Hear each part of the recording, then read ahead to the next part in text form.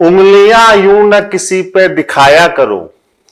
उंगलियाँ यूँ न किसी को दिखाया करो, खर्च करने से पहले कमाया करो। ज़िंदगी क्या है, खुद बखुद ही समझ जाओगे, कभी बरसात में पतंगे उड़ाया करो। नमस्कार, स्वागत है आप सभी लोगों का आपके अपने ऑनलाइन इंस्टीट्यूट टारगेट विद में। मैं रवि तिवारी करंट अफेयर्स की रटलो श्रृंखला में वर्ष का दूसरा रटलो लेके आपके सामने उपस्थित हूँ। महत्वपूर्ण 50 व्याख्यात्मक प्रश्नों की श्रृंखला, जो आने वाले बहुत सारे एग्ज़ाम्स के लिए आपके लिए अति महत्वपूर्ण है। आप लोगों का रटलो को हमेशा स्नेह भी मिलता रहा है, और मैं भी इस पर खूब मेहनत करता हूँ। संस्थान की तरफ़ से श्रृंखला आप सभी के लिए समर्पित है। उससे पहले मैं संस्थान की तरफ़ से कुछ जानकारियाँ आपको प्रेषित कर दूँ। संस्थान में यूपीपीसीएस से संबंधित बैच की घोषणा हो चुकी है, और उसमें प्रवेश लगातार प्रक्रिया लगातार चल रही है। कैसे आप प्रवेश ले सकते हैं? ये नंबर है। इस नंबर पर आपको व्हाट्सएप करना है एंट्री यूपीपीसीएस लिख के। जैसे ही आप व्हाट्सएप करेंगे, हमारी टीम आपसे संपर्क करेगी। इस कोर्स की विशेषता यह है कि इसमें प्रारंभिक परीक्षा की फैकल्टी को बिल्कुल अलग रखा गया है और मुख्य परीक्षा की फैकल्टी को बिल्कुल अलग रखा गया है। परीक्षा की प्रवृत्ति के हिसाब से प्रारंभिक और मुख्य परीक्षाएँ अलग अलग है, अतः अध्यापन भी अलग अलग होना चाहिए। तो उन चीज़ों का पूर्णता ध्यान रखा गया है और दिल्ली के जाने माने विषय विशेषज्ञ आप कल से लगातार देखेंगे कि हमारे संस्थान में आएँगे और मुख्य परीक्षा के चारों पेपर के बारे में आपको जानकारी देंगे। प्रारंभिक परीक्षा में ऐसे विषय विशेषज्ञों का समावेशन किया गया है जो कम समय में आपको पढ़ा सके और प्रश्नों के अनुरूप आपको पढ़ा सके ताकि बदली हुई प्रकृति में प्रारंभिक परीक्षा का जो पेपर है, उसमें ज़्यादा से ज़्यादा प्रश्न आपकी रीच में आ सके। मैं स्वयं करंट अफेयर्स और रीजनिंग की कक्षाओं के साथ इस यूपी पीसीएस बैच में उपस्थित रहूँगा। आलोक सर के कुशल निर्देशन में पूरी टीम, करीब 16 से 17 लोगों की टीम आप लोगों के लिए रिसर्च शुरू कर दिया है और 20 तारीख से हमारा बैच प्रारंभ हो रहा है। तो आपको प्रारंभिक प्रक्रिया क्या करनी है? व्हाट्सएप पर एंट्री यूपीपीसीएस लिखकर आपको इस नंबर पर व्हाट्सएप करना है, हमारी टीम आपसे संपर्क करेगी, है ना? तो आइए इस श्रृंखला की शुरुआत करते हैं ज़बरदस्त तरीके से। और रट लो करंट अफेयर्स पहला प्रश्न आपके सामने इस प्रकार है। आइए। प्रश्न बोलने की प्रवृत्ति प्रकृति ऐसी रहेगी कि जब प्रश्न आपका यहाँ पर आएगा तो प्रश्न आने के बाद मैं हट जाऊँगा ताकि आप प्रश्न को अच्छे से पढ़ सकें और स्वयं भी उत्तर देने की कोशिश करिएगा, क्योंकि जब हम एक बार लिखकर उत्तर देते हैं तो प्रश्न चिन्ह बहुत मज़बूत हो जाते हैं। क्लियर और कभी भी हम उन प्रश्नों को भूलते नहीं। तो कोशिश करिएगा कि आप स्वयं भी उत्तर को लिख सकें। पहला प्रश्न है, और मैं पढ़ना प्रारंभ करता हूँ अब। पहला प्रश्न है आपके सामने, लिखा है, नवंबर 2019 में किस राज्य में राष्ट्रीय जनजाति शिल्प मेला 2019 का आयोजन किया गया? चार आपके सामने आपके विकल्प हैं, जहाँ पर आप देख पा रहे हैं, और इनमें से एक विकल्प आपको चुनना है। पहला विकल्प है मध्य प्रदेश, दूसरा है हिमाचल प्रदेश, तीसरा विकल्प है उड़ीसा, और चौथा विकल्प है सिक्किम। क्लियर तो इसका जो सही उत्तर होगा, वो आपका होगा उड़ीसा। क्या होगा? उड़ीसा। और उड़ीसा के भुवनेश्वर में, अगर आपसे कभी पूछा जाए शहर क्या है तो उड़ीसा के भुवनेश्वर में इस आयोजन को जो है, किया गया। और इसका मुख्य उद्देश्य क्या था कि हस्तशिल्प की वस्तुएँ, बाँस और आदिवासी आदिवासी जो आभूषण होते हैं, हस्तशिल्प की वस्तुएँ हैं, बाँस से निर्मित वस्तुएँ हैं, और जो आदिवासी आभूषण आपके होते हैं पूरे देश के आदिवासियों को यहाँ इकट्ठा किया गया और उनकी कलाओं को लोगों को दिखाया गया, क्योंकि कभी कभी क्या होता है, बहुत सारे समूह के अंदर ऐसी विलक्षण प्रतिभाएँ होती हैं, ये कि जो बीच में नहीं आ पाती तो इस प्रकार के आयोजन जब हम करते हैं तो प्रदेश से बाहर निकलकर, प्रदेश की सीमाओं से बाहर निकलकर हम वस्तु विनिमय के माध्यम से जुड़ते हैं, जानते हैं। आप लोग भी बहुत अलग अलग प्रदेशों के पहनावे को पसंद करते हैं। ये पहनावे, या ये आभूषण, या ये वस्तुएँ, ऐसे केंद्रों पर आपको बहुतायत मिल जाती है। जैसे जब हम प्रयागराज में होते हैं तो आप देखते हैं कि सांस्कृतिक राष्ट्रीय जो एनसीजेडसीसी है आपका, सांस्कृतिक केंद्र है यहाँ पर, वहाँ पर हर वर्ष शिल्प मेले का आयोजन किया जाता है। और पूरे अखंड भारत से कलाकार लगातार वहाँ पर आते हैं और अपनी विलक्षण प्रतिभा, हस्त निर्मित भी होता है और उसका जो है क्या करते हैं, प्रदर्शन करते हैं। तो ऐसा ही एक जो है मेला है आपका तो यहाँ पर अगर आपसे कभी पूछा जाए कि राष्ट्रीय शिल्प मेला का आयोजन कहा किया गया था तो इस बार जो है इलाहाबाद में राष्ट्रीय शिल्प मेले का आयोजन एनसीजेडसीसी में किया गया था। आपसे यहाँ पे क्या पूछा जा रहा है? राष्ट्रीय जनजातीय शिल्प मेला 2019 का आयोजन किया गया उड़ीसा में। आइए। अगला प्रश्न आपका यहाँ पे है, दूसरा प्रश्न। नवंबर 2019 में निम्नलिखित में से किस संस्था ने ऑनलाइन बाल, यौन उत्पीड़न एवं शोषण की रोकथाम के लिए विशेष इकाई की स्थापना की, है ना? तो देखिए, इसकी जो स्थापना की, उनकी, वो की केंद्रीय अन्वेषण ब्यूरो ने, क्लियर है? और इसकी जो अधिकार क्षेत्र था, अधिकार क्षेत्र जो है, वो संपूर्ण भारत है। है ना? संपूर्ण भारत है। संपूर्ण भारत के अधिकार क्षेत्र में जो सीआरपीसी आईपीसी पॉस्को ये बहुत सारे जो अपराध इसके अंतर्गत एकत्रित किए गए हैं, ताकि बच्चों को क्या किया जा सके सुरक्षित किया जा सके और चीज़ों को ठीक किया जा सके। तो साफ़ साफ़ इसमें लिखा भी है, बाल यौन उत्पीड़न एवं शोषण की रोकथाम, इसका प्रमुख क्या है? उद्देश्य है और केंद्रीय अन्वेषण ब्यूरो का ये जो है, क्या है? हाँ केंद्रीय अन्वेषण ब्यूरो ने एक विशेष इकाई की स्थापना इसके लिए की है। आइए, तीसरा प्रश्न आपका यहाँ पे है। निम्नलिखित में से किस संशोधन विधेयक पर 13 दिसंबर 2019 को राष्ट्रपति ने अपनी स्वीकृति प्रदान की। चार आपके ऑप्शन है आयुध संशोधन विधेयक 2019 उच्चतम न्यायालय संशोधन विधेयक 2019 चिट फंड विधेयक 2019 कंपनी संशोधन विधेयक 2019 आप अपने उत्तर प्रेषित करें, मैं आपको उत्तर दे रहा हूँ। क्लियर है। देखिए, इसका सही उत्तर होगा आयुध ए आयुध अधिनियम जो उन्नीस सौ उनसठ था आयुध अधिनियम उन्नीस सौ उनसठ में परिवर्तन किया गया है। आयुध किस आयुष नहीं है ये। आयुष मंत्रालय तो स्वास्थ्य संबंधित आयुध शस्त्र से संबंधित है। किससे संबंधित है? वेपन। शस्त्र से संबंधित है, जो शस्त्र हम लोग रखते हैं। तो ये जो अधिनियम उन्नीस सौ उनसठ था, इसमें परिवर्तन किया गया और परिवर्तन करने के बाद आयुध संशोधन विधेयक 2019 हाँ दो तेरह दिसंबर 2019 को राष्ट्रपति ने अपनी स्वीकृति दी। इसकी कुछ प्रमुख शर्तें हैं, मैं आपको बता देता हूँ। शस्त्र लाइसेंस की संख्या में कमी की जाएगी। शस्त्र जो लाइसेंस, जैसे शस्त्रों के लिए जो लाइसेंस दिए जाते हैं, उनकी संख्या में कमी की जाएगी। अगर ज़रूरी नहीं है, गैर ज़रूरी है तो आपको शस्त्र लाइसेंस इशू नहीं किए जाएँगे। या जितनी मात्रा में शस्त्र लाइसेंस इशू किए गए हैं, उसको एक बार रिवाइज किया जाएगा और उनकी संख्या में कमी की जाएगी। बिना लाइसेंस के शस्त्र चलाने, शस्त्र का निर्माण करने, शस्त्र का उपयोग करने, दिखाने इन सब पर प्रतिबंध है। आवाजाही आवाजाही पर भी प्रतिबंध है शस्त्रों के। तो ये शस्त्रों से संबंधित है। और इसकी एक और महत्वपूर्ण जो विशेषता है, वो ये है हाँ कि नए अपराधों को चिन्हित करना, जो शस्त्रों से होते हैं, शस्त्रों से होने वाले नए अपराधों को चिन्हित करके उनके दंड में जितनी ज़रूरी है उतनी वृद्धि करना, है ना? शस्त्रों के माध्यम से होने वाले नए अपराधों को चिन्हित करने के उसके दंड में वृद्धि करना तो ये इसके प्रमुख प्रावधान है। आइए, आगे चलते हैं। चौथा प्रश्न है आपका यहाँ पे। हाल ही में किस राज्य में स्थित भेड़ीपल्ली पुलिस स्टेशन को राज्य के पहले बाल मित्र पुलिस स्टेशन के रूप में शुरू किया गया। चौथा हाँ इसका उत्तर है आपका तेलंगाना, है ना? तेलंगाना, इसका उत्तर है आपका तेलंगाना। यहाँ पर एक एनजीओ है, बचपन बचाओ आंदोलन, है ना? बचपन बचाओ आंदोलन और तेलंगाना पुलिस। बचपन बचाओ आंदोलन एक एनजीओ है और तेलंगाना पुलिस। ये दोनों की संयुक्त पहल है, बचपन बचाओ आंदोलन और तेलंगाना पुलिस दोनों की एक संयुक्त पहल है, जिसका प्रमुख उद्देश्य क्या है? हाँ, प्रत्येक बच्चे को ज़रूरी और उचित समय पर न्याय प्रदान करना। जिस बच्चे को न्याय की ज़रूरत है, उस बच्चे को वो अनिवार्य न्याय, आवश्यक न्याय ज़रूर मिले और उचित समय पर मिले, बिना देरी पर मिले। ये पहली तरह से, ये पहली बार ऐसी कोई प्रक्रिया आई है पहला जो है, इस तरीके का जो है, वो तेलंगाना में प्रारंभ किया गया है। आइए चौथा, पांचवा प्रश्न आपका यहाँ पे है। नवंबर 2019 में केंद्र सरकार द्वारा ऑयल सीड्स और ऑयल पाम की खेती हेतु, खेती को बढ़ावा देने के लिए शामिल किए गए छह राज्यों में से निम्न में कौन नहीं है? तो देखिए, ये छह राज्य जो है 2017 में इससे पहले भी चयनित किए गए थे दो वर्ष के लिए। वो छह राज्य अलग थे और इस बार फिर अलग से छह राज्यों को चयनित किया गया है दो वर्ष के लिए, है ना? तो यहाँ पर इन छह राज्यों में से पंजाब शामिल नहीं है। इसका सही उत्तर होगा आपका पंजाब। इसके अलावा जो तीन राज्य है, उसमें गुजरात है आपका।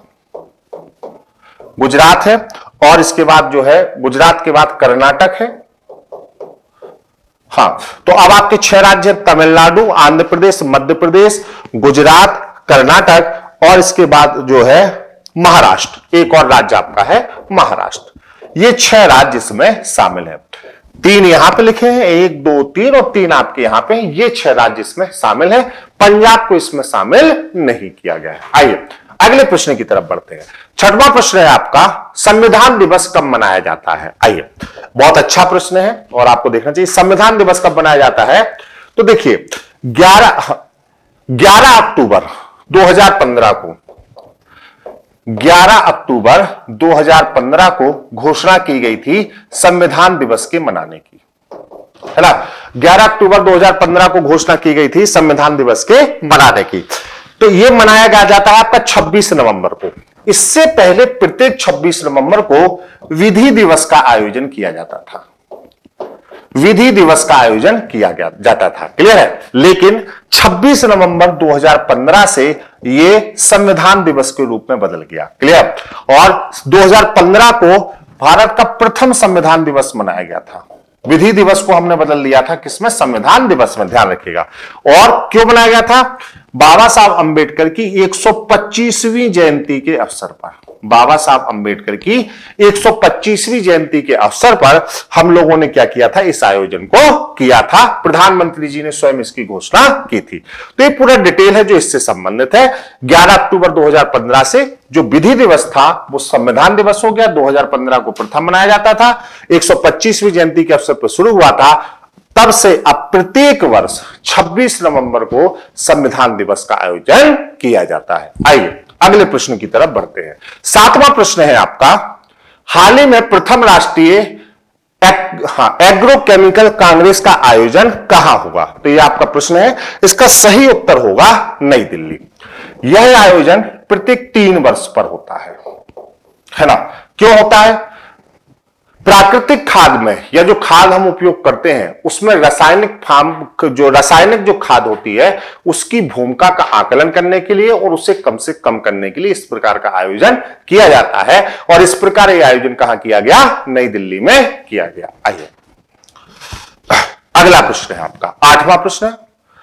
हाल ही में गैर सरकारी संगठन, child relief and you cry जिसको हम लोग कहते हैं ना, child relief and you see इसका फुल फॉर्म क्या है? चाइल्ड रिलीफ एंड यू द्वारा जारी रिपोर्ट में भारत में बच्चों के प्रति होने वाले अपराधों में सर्वाधिक मामले वाला राज्य है। संयुक्त रूप से यहाँ पर दो राज्य हैं, उत्तर प्रदेश और मध्य प्रदेश, जो कुल पूरे भारत में होने वाले बाल अपराधों में से चौदह दशमलव आठ प्रतिशत केवल यही होते हैं, है ना?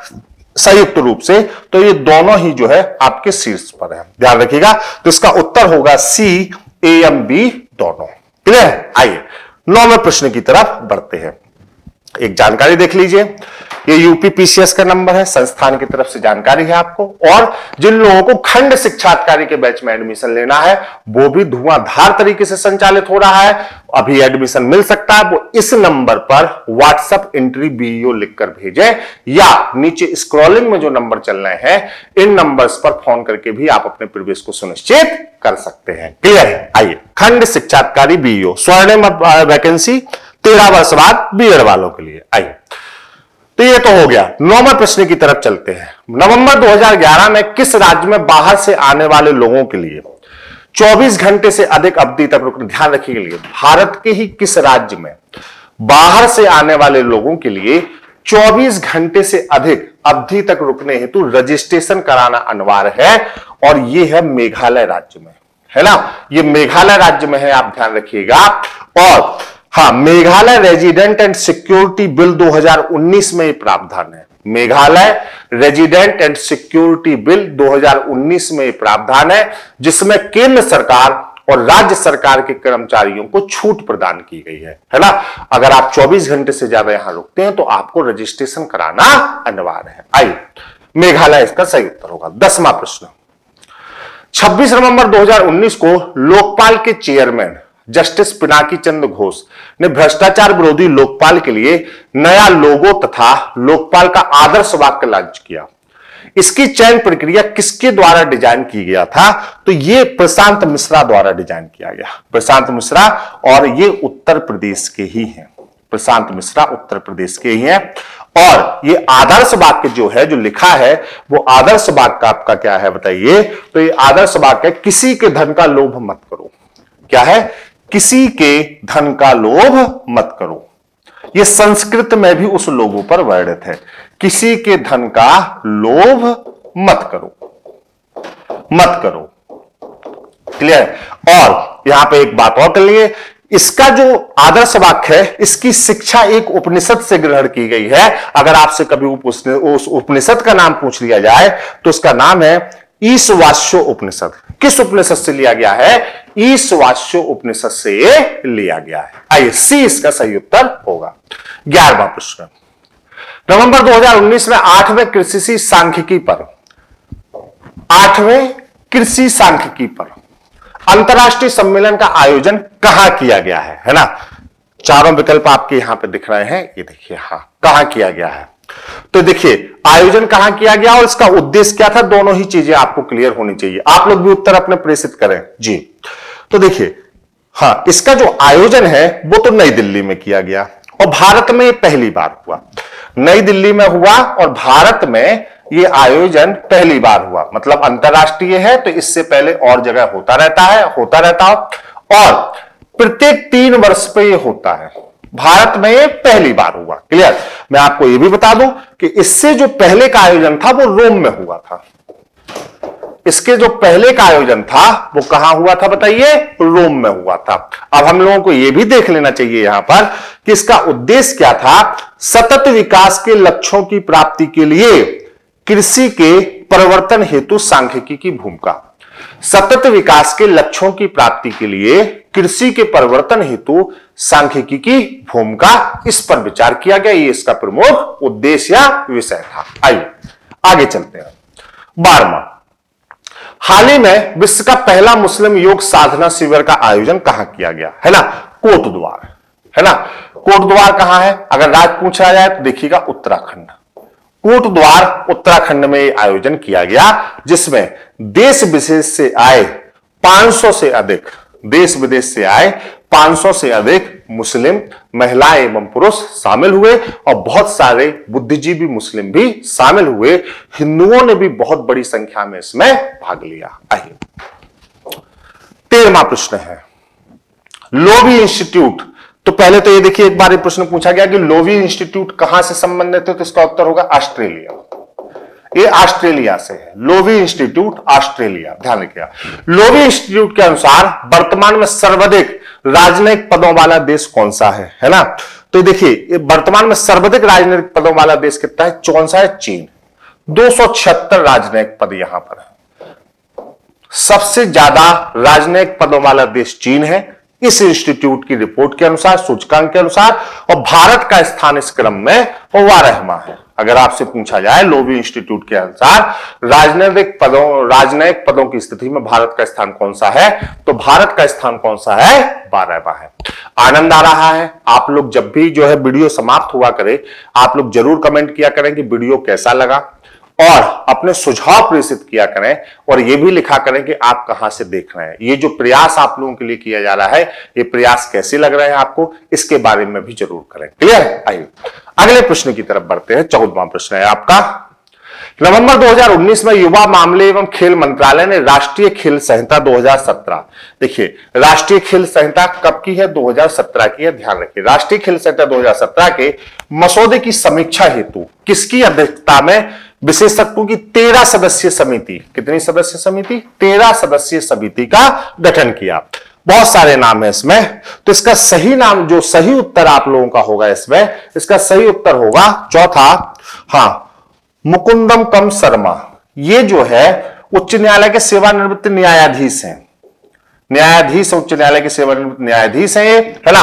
तो इनकी अध्यक्षता में तेरह सदस्यीय समिति का गठन यहाँ पर किया गया। ध्यान दीजिएगा, जिसमें बहुत अच्छे अच्छे भारत के खिलाड़ी भी हैं, जिसमें गगन नारंग, बाईचुंग भूटिया जो फुटबॉल खिलाड़ी हैं, पुलेला गोपीचंद, इन तेरह सदस्यीय लोगों में इनको भी शामिल किया गया है। हम खेल के स्तर को और बेहतर कर सकें, खेल की सुविधाओं को और बेहतर कर सकें, शेष विश्व में खेल के मामले में हमारा दबदबा हो सके ऐसे मसौदे में जो उपयुक्त संशोधन है और नई सिफारिशों के लिए इस समिति का गठन किया गया है। आइए, आपसे अगर यह पूछा जाए कि मुकदमकम शर्मा समिति किससे संबंधित है तो आप कहेंगे खेल संतरा 2017 खेल संहिता 2017 के मसौदे की समीक्षा हेतु इस समिति का गठन किया गया है। आइए, आगे बढ़ते हैं। पंद्रहवा प्रश्न है आपका।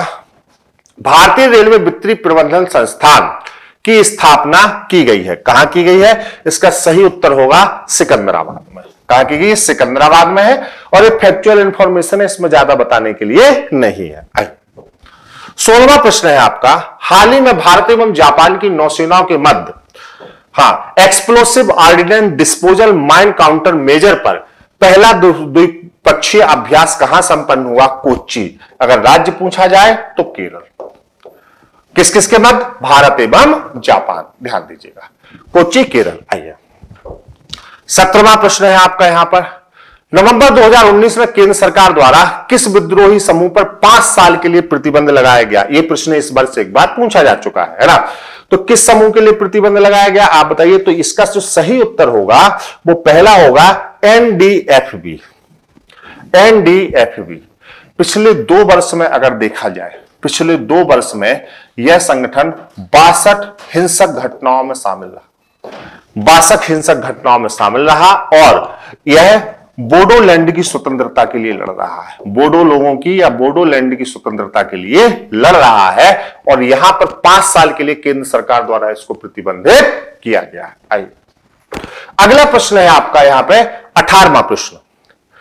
नवंबर 2019 में किस राज्य के तहत संचालित जल संसाधन विकास और प्रबंधन ने वाटर चार चेंज परियोजना को लॉन्च किया? ध्यान से समझिए। वाटर फॉर चेंज, है ना? परियोजना लॉन्च किया। किस राज्य ने, आपको बताना है। तो देखिए, अठारहवें का सही उत्तर होगा आपका केरल। अब देखिए, वाटर फॉर चेंज जो आपकी परियोजना है, इसमें भारत का जो साझीदार देश है, वो है नीदरलैंड। नीदरलैंड। है ना? और यह शहरी जल प्रबंधन से जुड़ा है। शहरी जल प्रबंधन से जुड़ा है। जुड़ा है। पहले, सबसे पहले चरण में दो राज्यों में देखिए, शुरुआत तो केरल ने की, लेकिन पहले चरण में दो राज्यों को चिन्हित किया गया है। किस किस को? गुजरात को और मध्य प्रदेश को। इसके लिए गुजरात और मध्य प्रदेश को चयनित किया। और देश के छह बड़े विश्वविद्यालय इसमें शामिल हैं। तो भारत और नीदरलैंड है और देश के छह बड़े विश्वविद्यालय इसमें शामिल हैं। जल प्रबंधन से समझ है। जल से संबंधित समस्याओं को रिसाइकिल करने से संबंधित हो, प्रबंधन से संबंधित हो ड्रेनेज से संबंधित हो, पूर्ण रूप से दूर करने के लिए प्रयास किया जा रहा है। सेव डॉटर सेव वाटर है ना? दोनों चीज़ें हमारे लिए बहुत ज़रूरी है। आइए। उन्नीसवा प्रश्न है आपका। जनगणना 2021 कितनी भाषाओं में की जाएगी? आने वाली है जनगणना, है ना? और हम लोग बहुत भयंकर रिकॉर्ड तोड़ने वाले हैं इस बार की जनगणना में। 16 भाषाओं में की जाएगी।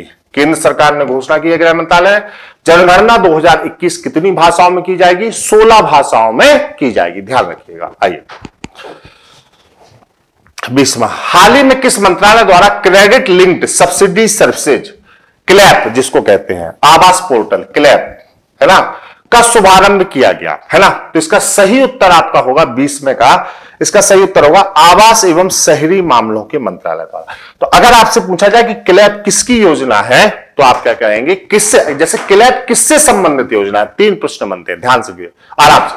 क्लैप किससे संबंधित योजना है? हाँ तो इसका पूरा नाम है क्रेडिट लिंक्ड सब्सिडी सर्विसेज़। आवास से संबंधित योजना किससे संबंधित? आवास से। और आवास एवं शहरी मामलों के मंत्रालय की ये योजना है। जी।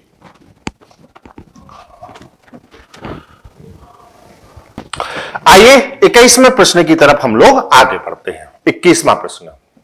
देखिए, ये रीजनिंग की मेरी किताब है।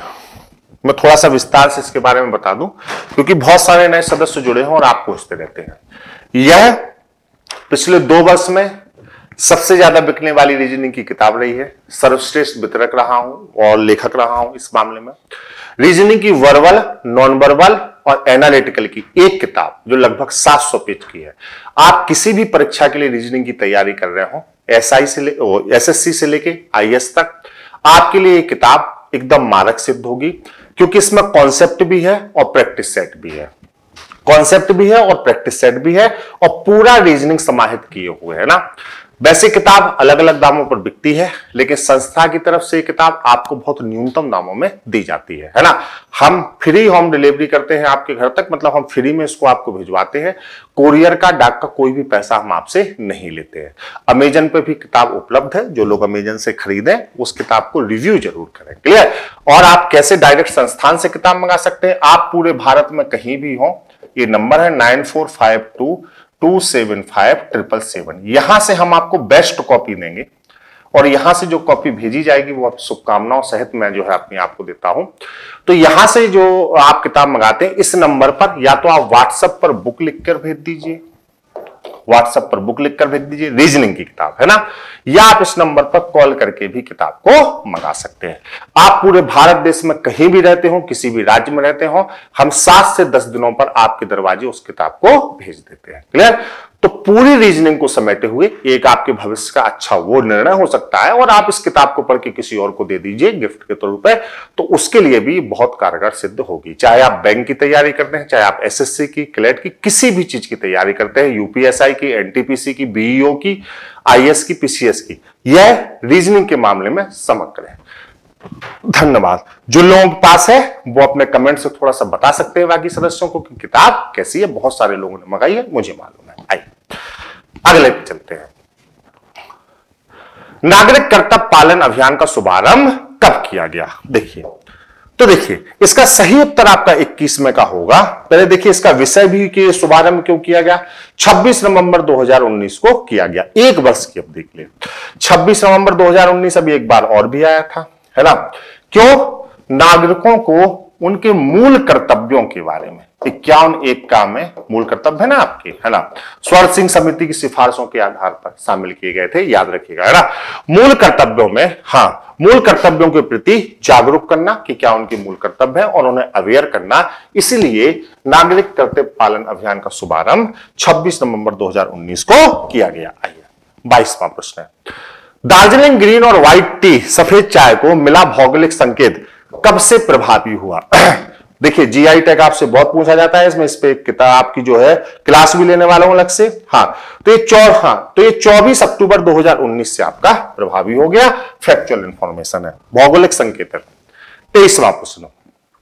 9 नवंबर 2019 को पहली बार geo chemical baseline atlas of India कहा जारी किया गया? सबसे पहले देखिए कि क्यों जारी किया गया। नाम क्या है? हाँ geo chemical baseline atlas of India यह जारी किया गया पर्यावरणीय क्षति का नुकसान करने के लिए। पर्यावरणीय क्षति कितना नुकसान पर्यावरण के रूप से हुआ है, उसका एक मापन करने के लिए, उसकी एक कैलकुलेशन करने के लिए, उसका एक अंदाज़ा लगाने के लिए इस एटलस को जारी किया गया। अब आपसे पूछा गया कि एटलस कहाँ जारी किया गया? हाँ तो हैदराबाद में जारी किया गया। हैदराबाद में जारी किया गया। क्यों जारी किया गया? पर्यावरणीय क्षति के लिए इसका विषय है। आइए। चौबीसवा प्रश्न। 15 नवंबर 2019 को रक्षा मंत्री राजनाथ सिंह ने सिसेरी नदी पुल का उद्घाटन किस राज्य में किया? बताइए। सिसेरी नदी पुल बहुत महत्वपूर्ण है, ध्यान रखिएगा। देखिए, सिसेरी नदी का जो पुल का जो उद्घाटन है, वो अरुणाचल प्रदेश के हाँ निचली दिबांग घाटी में किया गया। कहाँ पे? अरुणाचल प्रदेश की निचली दिबांग घाटी में। ध्यान रखिएगा। निचली दिवांग घाटी में किया गया। इस पुल का उद्घाटन।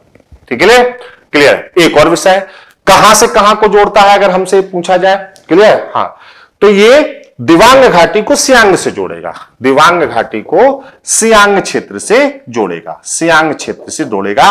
और ये जो परियोजना, पूरी परियोजना है, इसका नाम है ब्रह्मांक। ये ब्रह्मांड परियोजना के तहत ये पूरा निर्माण किया जा रहा है। तो अगर आपसे पूछा जाए, ब्रह्मांड परियोजना किससे संबंधित है तो भी आपको इस विषय को कनेक्ट कर लेना है। आइए, अगले प्रश्न की तरफ़ बढ़ते हैं। पच्चीसवा, Saras India International Trade Fair का उद्घाटन कहाँ किया गया? Saras India International Trade Fair, Saras, नाम ध्यान रखिएगा, इसका उद्घाटन कहाँ किया गया? हाँ तो आपका इसका सही उत्तर है, बताइए। दिल्ली। क्या है उत्तर? सही उत्तर है आपका दिल्ली। अब इसका विषय क्षेत्र समझ लीजिए, सरस का मतलब क्या है? देखिए, ग्रामीण विकास मंत्रालय का ये आयोजन था। स्वयं सहायता समूह की जो महिलाएँ हैं हाँ देखिए, स्वयं सहायता समूह की जो महिलाएँ हैं, जो बहुत छोटे स्तर पर ग्रामीण इकाइयों में काम कर रही हैं, शहरी क्षेत्र की मांगों के हिसाब से राष्ट्रीय स्तर की जो मांगे हैं, उससे उनको अवेयर करना और उनको जागरूक करना कि उनके बनाए जो प्रोडक्ट है, वो भले लघु उद्योग में होते हो, लेकिन वो शहरी क्षेत्र के लोगों के भी काम आ सके, इसलिए ये प्रयास था आपका। तो इसका सही उत्तर आपका किसका होगा बताइए? दिल्ली होगा, और इससे संबंधित जो मंत्रालय था, वो ग्रामीण विकास मंत्रालय था। आइए, छब्बीसवा प्रश्न आपका। चौदह नवंबर 2019 को बाल दिवस के अवसर पर भारत में किस प्रदेश में शिशु सुरक्षा ऐप का शुभारंभ किया गया, है ना? शिशु सुरक्षा ऐप बाल अधिकार संरक्षण हेतु असम में इसको लाया गया। असम शिशु सुरक्षा ऐप किस प्रदेश से संबंधित है? असम से। और विषय क्या है? हाँ बाल संरक्षण एवं सुरक्षा। आइए। सत्ताईसवां प्रश्न। नवंबर 2019 में नवोदय विद्यालय समिति के लिए मानव संसाधन विकास मंत्रालय द्वारा लॉन्च पोर्टल क्या है? है ना? साला दर्पण। साला दर्पण। नवोदय के लिए लॉन्च पोर्टल है। अट्ठाईसवा। हाल ही में महाराष्ट्र के सावित्रीबाई फूले विश्वविद्यालय पुणे ने माइलस्टोन एजुकेशन के साथ किस देश में अपना कैंपस स्थापित करने हेतु समझौता किया? कतर। कतर के दोहा में, ताकि अप्रवासी जो भारतीय हैं, उनकी शिक्षा और बेहतर की जा सके, गुणवत्ता युक्त की जा सके। तो इसका सही उत्तर होगा आपका कतर दोहा। ए। उनतीसवा प्रश्न है आपका। हाँ नोमरा का खाद सुविधता सूचकांक। खाद कीमतों में बड़े उतार चढ़ाव के आधार पर देशों की रैंकिंग करता है। ध्यान रखिएगा। नोमरा क्या है? अगर आपसे पूछा जाए नोमरा क्या है? तो खाद सुविधता सूचकांक जारी करने वाली संस्था है किस विषय पर? खाद कीमतों की बड़े उतार चढ़ाव के आधार पर देशों की रैंकिंग करता है। इसमें भारत को कौन सा स्थान प्राप्त हुआ है, आपसे पूछा गया है। तो इसमें भारत का स्थान है चवालीसवा, है ना? चवालीसवा। तीन आधार हैं इसके। तीन आधार पे ये रैंकिंग करता है। नोट करते चलिएगा। तीन आधार पे ये रैंकिंग करता है। पहला आधार जो है, देश की प्रति व्यक्ति जीडीपी दूसरा आधार जो है, घरेलू खपत में भोजन का हिस्सा। और तीसरा आधार है, शुद्ध खाद आयात। शुद्ध खाद आयात, ये तीन इसके आधार है। आइए तीसवा प्रश्न है आपका। हाल ही में प्रशांत महासागर के द्वीप समूह हाँ बोगेन बिले के निवासियों ने किस देश से स्वतंत्रता के लिए मतदान किया? हाँ पापुआ न्यूगिनी इससे स्वतंत्रता के लिए मतदान किया। दो द्वीप समूह इसमें शामिल थे। एक तो वोगिन था और दूसरा द्वीप समूह था बुका। दूसरा द्वीप समूह क्या था? बुका। इन दोनों ने एक साथ मतदान किया यहाँ पर और मतदान के पक्ष में बहुत बो, बहुत बहुत बहुत पड़े। क्लियर है? हाँ।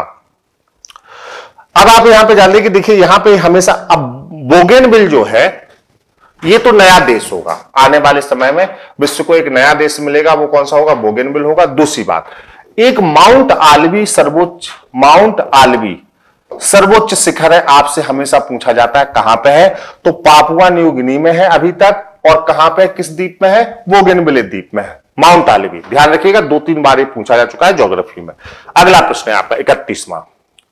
में से कौन से पूर्व प्रधानमंत्री के इस्तीफा देने के पश्चात श्रीलंका के नए प्रधानमंत्री के रूप में शपथ ग्रहण किया? अब इसका उत्तर तो आप लोगों को कम से कम देना चाहिए। मैं एक बार इस प्रश्न को सॉल्व भी करा चुका हूँ इकतीस में को। तो बताइए, इकतीस में का सही उत्तर होगा महेंद्रा राजपक्षे। दोनों भाई, राष्ट्रपति और प्रधानमंत्री है, सी ऑप्शन आपका सही होगा। आइए, बत्तीसवें प्रश्न की तरफ़ यहाँ पर आप लोग बढ़ रहे हैं। जी ट्वेंटी देशों के संसदीय अध्यक्षों का छठा सम्मेलन कहाँ आयोजित होगा? तेज़ी से उत्तर करें। बत्तीसवें का उत्तर आपका क्या होगा? टोक्यो। क्या होगा? टोक्यो, जापान बत्तीस में का उत्तर होगा, टोक्यो, जापान। और इसका उद्देश्य क्या है बताइए? व्यापार और निवेश को स्वस्थ वातावरण में प्रोत्साहित करना। व्यापार और निवेश को स्वस्थ वातावरण में प्रोत्साहित करना। आइए, आगे चलते हैं। तैतीसवा प्रश्न है आपका। 30 अक्टूबर 2019 को चिली के सेंटियागो में आयोजित होने वाले जलवायु परिवर्तन सम्मेलन कोप 25 की मेजबानी में असमर्थता जताई। अब इस सम्मेलन का आयोजन स्पेन में किया जाएगा। स्पेन के मैड्रिड में। हाँ, सरकार विरोधी प्रदर्शनों के कारण, सुरक्षा कारणों से असमर्थता जताई है और नया आयोजन स्पेन के मैड्रिड में किया जाएगा। आइए, चौतीसवा प्रश्न है आपका। हाल ही में पुरातत्व विशेषज्ञों द्वारा तीन हज़ार साल पुराने शहर बेजीरा की खोज किस देश में की गई? पाकिस्तान के। हाँ पाकिस्तान के खैबर पख्तून प्रांत में पाकिस्तान के खैबर पख्तून प्रांत में बेजीरा अगर आपसे पूछा जाए बेजीरा क्या है? तीन हज़ार साल पुरानी सभ्यता का एक शहर है, ना? पाकिस्तान के खैबर पख्तून प्रांत में इसको खोजा गया है ध्यान दीजिएगा। आइए स्वात ज़िले में खैबर पख्तून प्रांत में स्वात ज़िले में। छत्तीसवा एक नए शोध के अनुसार दनाकिल पर सक्रिय और स्वाभाविक रूप से चलने वाला जीवन संभव नहीं है। दनाकिल कहाँ स्थित है? आप बताइए।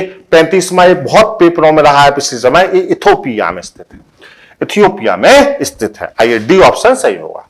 छत्तीसवा प्रश्न। नवंबर 2019 में सेवाओं पर पांचवी वैश्विक प्रदर्शनी गैस का आयोजन कहाँ किया गया? सेवाओं पर। हाँ सर्विस पर, सेवाओं पर। पांचवी क्षमा करिएगा, एक सेकंड। सेवाओं पर पांचवी जो है, वैश्विक प्रदर्शनी का आयोजन कहाँ किया गया? छत्तीसवां प्रश्न का सही उत्तर आप लोग बताइए। तो बेंगलुरु में किया गया। फैक्चुअल इंफॉर्मेशन है, बेंगलुरु। आइए, आईटी हब है। 11 से 12 नवंबर को सांख्यिकी और कार्यान्वयन मंत्रालय द्वारा सत्ताईसवां केंद्रीय एवं राज्य स्तरीय सांख्यिक संगठन सम्मेलन कहाँ आयोजित किया गया? चार शहरों के नाम आपको दिए गए हैं। आपको सही उत्तर बताना और सही है क्या? कोलकाता सही होगा और इसका उद्देश्य जो है, इसका लक्ष्य जो था या इसका जो मुख्य विषय था, वो आपका था सतत विकास के लक्ष्य हेतु आपसी तालमेल को बढ़ावा देना। सतत विकास के लक्ष्य हेतु आपसी तालमेल को बढ़ावा देना। आइए, अगला है आपका अड़तीसवा। हाल ही में मलेशिया में अंतिम सुमित्राई गैडा, मादा की मृत्यु हो गई, जिसका नाम था ईमान। अंतिम सुमित्राई गैडा जो मादा था हाँ इसकी मृत्यु हो गई, इसका नाम क्या था बताइए? ईमान। इससे पहले 15 मई 2019 को अंतिम नर की भी मृत्यु हुई थी वहीं पर, जिसका नाम था टॉम।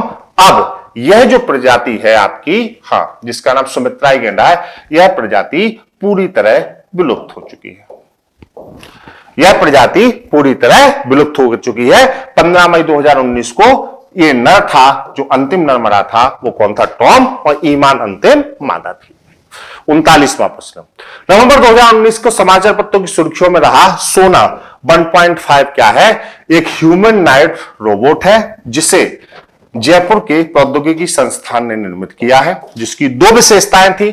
पहली विशेषता थी कि रात में कार्य करने में दक्ष है। अंधेरे में कार्य करने में दक्ष है, ये पहली विशेषता थी। और दूसरी विशेषता थी, ये चार्जिंग पॉइंट तक स्वयं पहुँच सकता है। मतलब जब इसकी चार्जिंग खत्म हो तो किसी व्यक्ति को कनेक्ट करने की ज़रूरत नहीं है। ये चार्जिंग पॉइंट तक स्वयं पहुँच सकता है। और अमेरिका में नासा ने जो है इस रोबोट को बहुत सराहा है और ये अपनी तरह की एक नई पहल है। उत्तर प्रदेश के रायबरेली में इसका परीक्षण किया गया था और जयपुर के प्रौद्योगिकी संस्थान ने इसको निर्मित किया है। आइए तो आपसे पूछा जाए, सोना 1.5 क्या है? तो ये गोल्ड से संबंधित नहीं है, ये ह्यूमन रोबोट रोबोट है। चालीसवा प्रश्न आपका। नवंबर 2019 में किस पत्रिका द्वारा स्वस्थ जलवायु परिवर्तन 2019 नामक रिपोर्ट आपकी जारी की गई? तो चालीसवें का जो सही उत्तर होगा, वो होगा लेंसेंट पत्रिका द्वारा। सी लेंसेंट पत्रिका द्वारा। और सुनिए, इसमें बताया गया है कि जब तापमान में प्रति एक डिग्री सेंटीग्रेड की बढ़ोतरी होती है तो चार फ़सलों की में कितना नुकसान होता है, वो इसमें बताया गया है। मैं आपको डाटा बताता हूँ। देखिए हाँ यहाँ पर गेहूँ में छह प्रतिशत, चावल में तीन दशमलव दो प्रतिशत, मक्का में सात दशमलव चार प्रतिशत और सोयाबीन में तीन दशमलव एक प्रतिशत। ये वैश्विक नुकसान होता है प्रति एक डिग्री सेंटीग्रेड के बढ़ने पर। ध्यान दीजिएगा। तो ग्लोबल वार्मिंग का कितना बड़ा प्रभाव हमारी फ़सलों पर पड़ रहा है, उस पर यह रिपोर्ट जारी की गई थी। इकतालीसवां प्रश्न है। उत्तर प्रदेश सरकार द्वारा फाइलेरिया उन्मूलन। फाइलेरिया विश्व की दूसरी सबसे बड़ी बीमारी है। दूसरी सबसे बड़ी बीमारी है फाइलेरिया। चलिए, उत्तर प्रदेश सरकार द्वारा फाइलेरिया उन्मूलन के लिए चलाए गए टीकाकरण अभियान की आयोजन अवधि क्या है? देखिए, इसका जो लक्ष्य हम लोगों ने रखा है, वो लक्ष्य रखा है यहाँ पर हाँ 2021 तक पूर्ण रूप से उन्मूलन करना है। 2021 तक पूर्ण रूप से उन्मूलन करना है तो अब आप विकल्प को चुन सकते हैं। अभी जो रखा गया है हाँ वो रखा गया 25 नवंबर से 10 दिसंबर 2019 तक। आइए। सी ऑप्शन सही होगा। बयालीसवां प्रश्न। हाल ही में कार्टोसेट तीन सैटेलाइट हाँ सतीश चंद्र अंतरिक्ष संस्थान से इसको किया गया। तो आपसे पूछा गया है, हाल ही में कार्टोसेट थ्री सैटेलाइट का प्रक्षेपण किस रॉकेट से किया गया? पीएसएलवी सी 47 से किया गया। कहाँ से किया गया? तो आपको मतलब सतीश धवन अंतरिक्ष सार श्रीहरिकोटा से किया गया। आइए, तैतालीसवां प्रश्न है। सत्रह नवंबर दो हज़ार उन्नीस को रिवाइज आयुष पुरस्कार की घोषणा की गई, है ना? बिल्कुल। और ये आप लोग बताना है कि किसके? हाँ रेजाइस हेल्थ फाउंडेशन की तरफ़ से, जिसमें डॉक्टरों को, विश्वविद्यालयों को और इस क्षेत्र में अग्रणी रूप से काम करने वाले स्वास्थ्य के क्षेत्र में लोगों को सम्मानित किया गया, ताकि उनका मनोबल बढ़ाया जा सके और सेवा में अच्छे से विस्तार किया जा सके। सी ऑप्शन इसका, बी ऑप्शन आपका सही होगा। हाँ अगला, चार नवंबर 2019 को आइस डैश और अतिथि नामक दो नई आईटी पहलों का शुभारंभ किया गया। यह किस मंत्रालय से संबंधित है? तो देखिए दोनों जो पहले हैं किस मंत्रालय से संबंधित है? कारोबार में सुगमता और निगरानी के लिए ये केंद्रीय वित्त मंत्रालय से संबंधित है। क्या उद्देश्य कारोबार में सुगमता और निगरानी लाना केंद्रीय वित्त मंत्रालय से संबंधित है? मज़ा आ रहा है? बताइए। बस, जल्दी जल्दी उत्तर करते चलिए, बताइए। पैतालीसवा, आपका क्या है? हाँ पैगा पैगासस स्पाई बियर क्या है? अभी बहुत चर्चा में रहा। पेगासस स्पाई वेयर क्या है? तो ये आपको बताइए क्या करेंगे? इसराइल द्वारा बनाया गया सॉफ्टवेयर है। हैकिंग को रोकने के लिए बनाया गया है। हाँ हैक कर लेते हैं ना। हैकिंग को रोकने के लिए बनाया गया है और विशेष रूप से व्हाट्सएप हैकिंग को रोकने के लिए बनाया गया है। इसराइल द्वारा। छियालीसवा प्रश्न है आपका। चार नवंबर 2019 से प्रारंभ भारत की पहली वैश्विक मेगा विज्ञान प्रदर्शनी, विज्ञान समागम। कहाँ शुरू हुई? विज्ञान समागम का शुरुआत हुई कोलकाता में। कोलकाता, विज्ञान समागम, कोलकाता डी ऑप्शन सही है। सैतालीसवां प्रश्न है आपका। हाल ही में अरुणाचल प्रदेश में पहला हिंदी समाचार पत्र लॉन्च किया गया, जिसका नाम था अरुण भूमि। अरुण भूमि, पहला हिंदी समाचार पत्र है अरुणाचल प्रदेश का। ध्यान रखिएगा। आइए क्लियर हाँ। अड़तालीसवा। वह कौन भारतीय पत्रकार है जिसे अंतर्राष्ट्रीय प्रेस स्वतंत्रता पुरस्कार 2019 से सम्मानित किया गया नेहा दीक्षित और इन्हें पुरस्कार मिला न्यूयॉर्क में। न्यूयॉर्क में, आइए। उनचासवा विश्व शौचालय दिवस कब मनाया जाता है? यह प्रश्न कई बार पूछा जा चुका है। बताइए, विश्व शौचालय दिवस कब मनाया जाता है? 19 नवंबर को। 19 नवंबर को। और पचासवा और अंतिम प्रश्न है, हाल ही में सिंधु सुदर्शन सैन्य अभ्यास का आयोजन कहाँ किया गया? क्लियर तो बताइए इसका सही उत्तर आपका क्या होगा? इसका आयोजन किया गया राजस्थान में और थल सेना और वायुसेना का ये युद्धाभ्यास था। तो ये आज के 50 प्रश्नों की रट लो तो श्रृंखला थी कैसी लगी? ज़रूर लिखिए और आप कहाँ से मुझे देख रहे हैं? ये भी ज़रूर लिखिए। संस्थान में यूपी पीएससीएस और खंड शिक्षा अधिकारी के बैच लगातार जो है प्रवेश भी चल रहे हैं और खंड शिक्षा अधिकारी का बैच धुआंधार तरीके से संचालित हो रहा है। जूनियर के लिए जो 4000 पद है, उसके लिए भी हम बैच लाने वाले हैं। किसी भी जानकारी के लिए सुपर टेट, जूनियर पीसीएस खंड शिक्षा अधिकारी नीचे जो स्क्रॉलिंग में नंबर चल रहा है, आप इन नंबरों से संपर्क करने चाहिए। आप इन नंबरों पर संपर्क करिए। इसी तरह मैं हमेशा मेहनत करके आप लोगों के लिए आता रहूँगा। बहुत बहुत शुभकामनाएँ, शुक्रिया, नमस्कार। Love you all take care thank you so much नमस्कार।